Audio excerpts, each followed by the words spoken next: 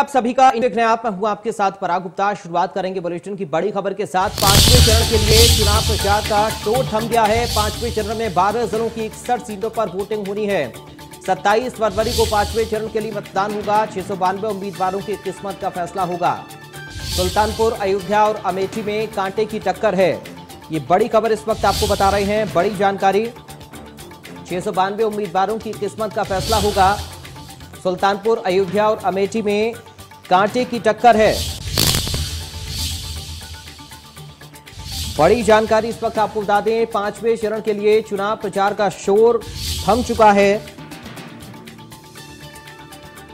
पाँचवें चरण में 12 जिलों की इकसठ सीटों पर वोटिंग होनी है। 27 फरवरी को पाँचवें चरण के लिए मतदान होना है।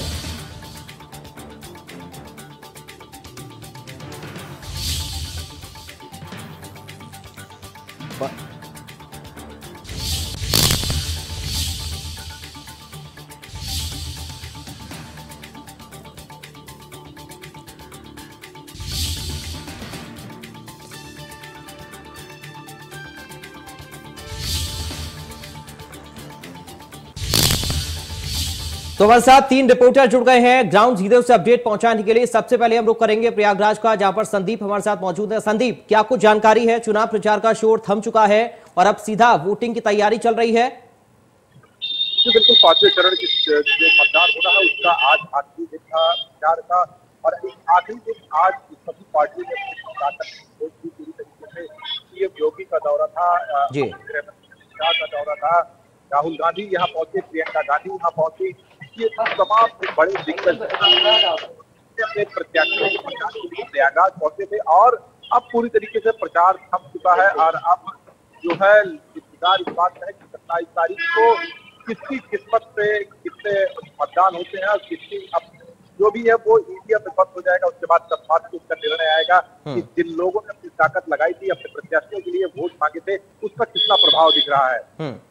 ठीक है आप हमारे साथ बने रहिए। अब हम गोंडा का रुख करेंगे। अनुराग सिंह इस वक्त हमारे साथ गोंडा से जुड़े हैं संवाददाता। अनुराग गोंडा में अब चुनाव प्रचार का शोर थम गया है। तैयारियाँ चुनाव को लेकर किस तरह से प्रशासन कर रहा है?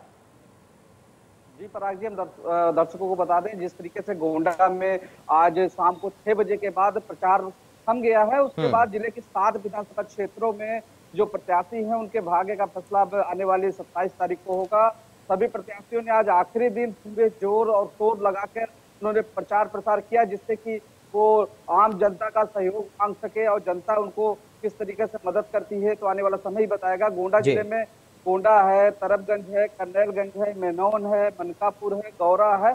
तो यहाँ पर जो सात विधानसभा क्षेत्र है इसमें कई ऐसे वीआईपी कैंडिडेट मंत्री भी हैं जो जिनके भाग्य का फैसला होगा और आज आखिरी दिन गोंडा सदर में आपको बता दें कि जैसे भाजपा के प्रत्याशी प्रतीक भूषण शरण सिंह जो सांसद विभूषण शरण सिंह के बेटे हैं वो उन्होंने रोड शो किया है वही पूर्व मंत्री विनोद पंडित सिंह के बेटे हैं उन्होंने भी रोड शो किया है इसके तरफ़ तो प्रेम नारायण पांडे जी है उन्होंने कई कई जगह पे नुक्कड़ जनसभाएँ की है। और वही सपा चौबे ने भी जगह जगह गाँव में नुक्कड़ सभाएँ करके कहीं ना कहीं आज आखिरी दिन सभी प्रत्याशी जनता से सहयोग मांगते दिखे और लोगों ने ये कोशिश की कि जनता को अपने पक्ष में ताकत लगा दिया है। अब ये बताएगा कि सत्ताईस तारीख को का भाग का फैसला होगा जनता करेंगे तो आने पर समय बताएगा।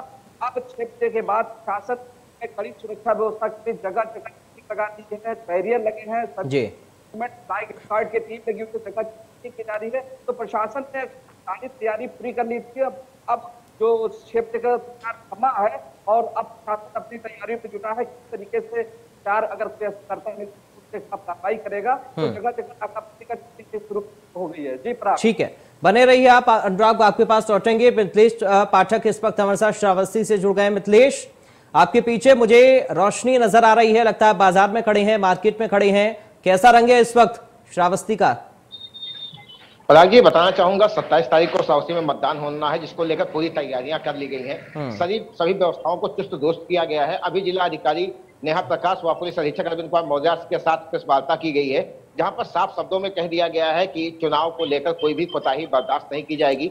आज शाम छह बजे से प्रचार प्रसार थम गया है। अब इसके बाद अगर कोई प्रत्याशी या कोई उनके समर्थक प्रचार प्रसार करते पाए जाते हैं तो उनके खिलाफ सख्त से सख्त कार्रवाई की जाएगी। हम्म। श्रावस्ती में पूरी तैयारियाँ पूरी कर ली गई हैं। यहाँ पर अगर प्रत्याशियों की बात करेंगे तो दोनों विधानसभाओं में तेरह प्रत्याशी मैदान में है। देखना यह होगा कि इन तेरह प्रत्याशियों में से किसके सिर पर जीत का सेहरा बनता है, यहाँ की जो जनता है वो किसको चुनती है? लोगों ने बहुत वादे किए, लगातार प्रचार प्रसार चला। आज भी कई जनसभाएँ का कार्यक्रम किया गया, कई जनसभाएँ की गई। वहाँ पर भी लोग भारी संख्या में जुटे थे। अब देखना यह होगा कि आखिरकार ये जनता जो है श्रावस्ती की, ये किसको अपना मुराद बनाती है और किसको यहाँ का ठीक है। संदीप तिवारी, आप ये बताइए कि संगम नगरी में इस वक्त लोगों का मिजाज क्या है? क्या मुद्दों को लेकर जनता वोट करेगी? और किन मुद्दों को लेकर उत्साह जनता के अंदर है? चाहूँगा जनता से ये जानने के लिए कि आखिर इस बार जो चुनाव हो रहा है दो हज़ार बाईस का जो उनके सामने आए हुए हैं चाहे अगर वो सिटिंग एमएलए हैं तो उनसे क्या उम्मीद की जा रही है के लिए क्या सवाल है और किन मुद्दों पर मतदान इस बार जनता करेगी? जनता का जो मुख्य मुद्दा रहा वो सबसे बड़ा मुद्दा रहा बेरोजगारी का हम्म। महँगाई का और शिक्षा का। तो इन सब चीज़ों को लेकर जनता लगातार इस बार कह रही है कि उनका जो मुद्दा होगा उनका जो मतदान जाएगा वो उसी के पक्ष में जाएगा जिन्होंने इन सब बातों का ध्यान रखा। वही जो मौजूदा एमएलए हैं जिन्होंने कुछ अपने क्षेत्र में काम किया उनकी बात तो ठीक है। नहीं जिन लोगों ने काम नहीं किया जनता डायरेक्ट इस बार उनसे सवाल कर रही है कि आखिर आपको हम किन आधार पर किन मुद्दों के साथ हम आपको मतदान करें। फ़िलहाल तो समझाने की पूरी कोशिश कर रही है बताने की पूरी कोशिश हो रही है तमाम वादे फिर से किए जा रहे हैं। अब ये देखना है कि जनता किसकी किस्मत को बंद करती है जीतने के लिए और किस्मत बंद करती है हारने ठीक है। अनुराग, समीकरण वहाँ की सीटों का, गोंडा में जो सीटें विधानसभा की, उनका समीकरण क्या कुछ कह रहा है? जो चुनावी मैदान में उम्मीदवार उतरे हैं, उनका बैकग्राउंड क्या कुछ है? जनता किन मुद्दों को लेकर इस बार वोट करेगी? क्या कुछ लोग कह रहे हैं इस बार? पराग्य दर्शकों को बता दें जिस तरीके से गोंडा सदर सीट की बात करें तो वहाँ पर पूर्व मंत्री हैं जो विनोद कुमार और पंडित सिंह के बेटे हैं सूरज सिंह जो चुनाव मैदान में हैं हम्म। और मंत्री के मृत्यु के बाद कोरोना काल में मंत्री की मृत्यु हुई थी, उसके बाद ये इनको प्रत्याशी बनाया है। वहीं दूसरी तरफ़ जो सांसद विभोर सिंह, भारतीय कुश्ती संघ के अध्यक्ष हैं, उनकी साख दाव पे उनका बेटा उनके सामने चुनाव मैदान पे।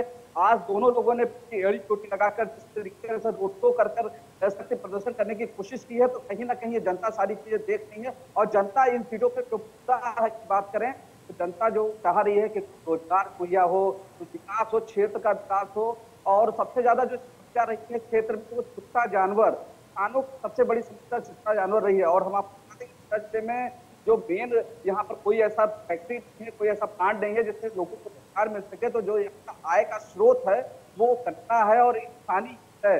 तो कहीं ना कहीं किसानों में एक नाराज़गी भी है छोटा जानवर को। लेकिन कुछ लोगों की बात करें जैसे लोग ये भी कह रहे हैं कि जैसे हम्म। सरकार हम लोग को राशन दे रही है तो कहीं ना कहीं कुछ लोग मरहम लगाने का सरकार कोशिश कर रही है लेकिन आने वाले समय ही बताएगा कि यहाँ क्षेत्र से किस प्रत्याशी की जीत होगी और किसकी हार वहीं हम आपको बता दें मनकापुर से जहाँ पूर्व मंत्री हैं रमापति शास्त्री अब पूर्व मंत्री ने मौजूदा सरकार में कैबिनेट मंत्री रमापति शास्त्री को चुनाव मैदान में ताड़ चुके हैं। उनके सामने पूर्व विधायक है रमेश गौतम जो समाजवादी पार्टी से चुनाव मैदान में लड़ रहे हैं। कहीं ना हम्म। कहीं उस सीट पे भी काटे की टक्कर देखी जा रही है। ऐसे ही गौरा में मौजूदा विधायक है प्रभात वर्मा के सामने जो बागी होकर राम प्रताप सिंह है, वो कांग्रेस से चुनाव लड़ रहे हैं तो सबसे दिलचस्प सीट आपको बता दें, वो गौरा है, जहाँ पर पहली चौथी ऐसी सीट है जहाँ कांग्रेस लड़ती हुई दिख रही है तो वहाँ भाजपा और कांग्रेस के बीच में सीटें टक्कर हो रही है। ऐसे तरफगंज की बात करें तो जो मौजूदा विधायक है प्रेम नारायण पांडे वो इस समय भाजपा से प्रत्याशी बनाए गए हैं। वही सपा से बसपा से पूर्व में रहे राम भजन चौबे जो अपने आप को पूर्व काशी राम को वो करते हैं और जिस तरीके से वो कहते हैं कि जो दलित वोट बैंक है वो उसके साथ है तो दलित वोट बैंक को लेकर रामभजन चौबे जो है पृथ्वीनारायण पांडे और रामभजन चौबे के यहाँ खाटे की टक्कर देखी जा रही है। हम्म। ऐसे ही कर्नलगंज में हम आपको बता दें कि जहाँ योगेश प्रताप सिंह जो पूर्व मंत्री बेसिक शिक्षा मंत्री थे उनकी साख गाँव पर है वो समाजवादी पार्टी से चुनाव लड़े उनके सामने एक ब्लॉक प्रमुख है के पति हैं जो अजय सिंह को प्रत्याशी बनाया गया वो पार्टी के टक्कर देते हुए नज़र आए। आज हम्म। उन्होंने रोक किया है और उन्होंने भी शक्ति प्रदर्शन किया है। मंत्री ने कई जन जगह पर सफ़ा करके जनता कोर्ट बैंक बनाने की कोशिश की है। तो आने वाला समय ही बताएगा। सीटों पर किस तरीके से यहाँ पर प्रत्याशी की होगी और किसकी हार जी ठीक है। श्रावस्ती की सीटों का समीकरण क्या कुछ कह रहा है? क्योंकि ये बहुत ज़्यादा ज़रूरी है मित्रेश आप इसको समझाएँ। लोगों के मुद्दे बहुत अहम हैं सीटों पर जो प्रत्याशी उतरे हैं वो बहुत ज़्यादा अहम है। किसने किस तरीके के वादे किए हैं और जनता का रुख इस बार क्या कुछ है? बिल्कुल बताना चाहूँगा लगातार प्रत्याशियों की तरफ़ से वादे किए जा रहे हैं। कोई विकास का दावा कर रहा है तो कोई यहाँ पर रोज़गार लाने की बात कर रहा है। अगर बात की जाए तो श्रावस्ती तराई का जिला है जो इंडो नेपाल सीमा पर स्थित है। यहाँ पर बेरोजगारी की सबसे बड़ी समस्या है। ना तो कोई कल कारखाना है ना कोई और उद्यम है जहाँ पर लोग अपना रोजी रोटी कमा सके। यहाँ से भारी संख्या में लोग पलायन करते हैं दूसरे राज्यों में जाते हैं विदेशों में जाते हैं दो पैसे कमाने के लिए। तो कहीं ना कहीं रोजी रोज़गार का भी एक सबसे बड़ा मुद्दा है। उसके साथ साथ अगर शिक्षा की बात की जाए तो शिक्षा के लिए भी कोई समुचित व्यवस्था नहीं है जिसको लेकर भी इस बार प्रत्याशियों ने अपने वादे दिए हैं।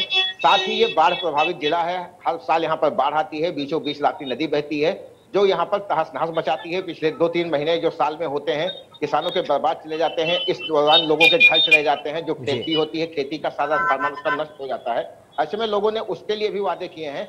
अब देखना तो ये होगा कि आखिरकार जनता किसके मुद्दों को मानती है और जिनके वादों को मानती है और क्या करती है। हालाँकि श्रावस्ती में जो कांटे की टक्कर है वो बसपा और सपा के बसपा और भाजपा के बीच है श्रावस्ती विधानसभा में। जबकि इनका विधानसभा की बात की जाए तो वहाँ भाजपा और सपा के बीच टक्कर बताई जा रही है जी। चलिए बहुत शुक्रिया आप तीनों का मिथिलेश अनुराग और संदीप तमाम जानकारी और इस पूरी बातचीत के लिए।